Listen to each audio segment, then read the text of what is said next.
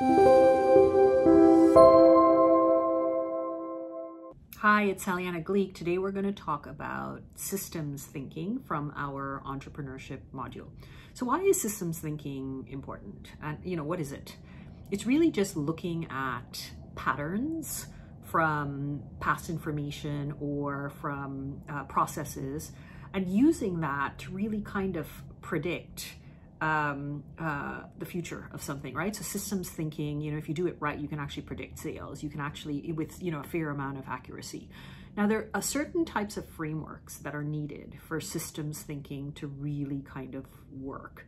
So first of all, you know, um, the first part of systems thinking is, you know, the understanding that everything is not dis disconnected, but interconnected. You know, that's, that's you remember you're looking for patterns. So you're looking for the interconnectedness of everything.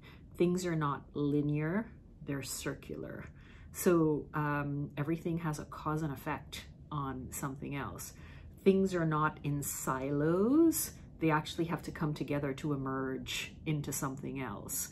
Um, it's never parts it's the whole right? Uh, when you're looking from a systems thinking uh, lens.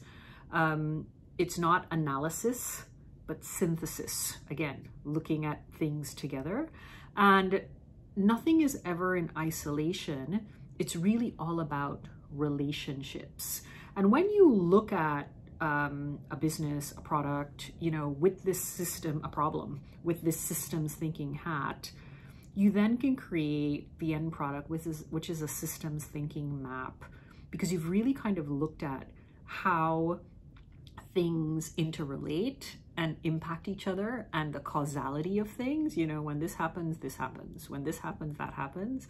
And that is when you really know that you've done systems thinking right. Let's practice below.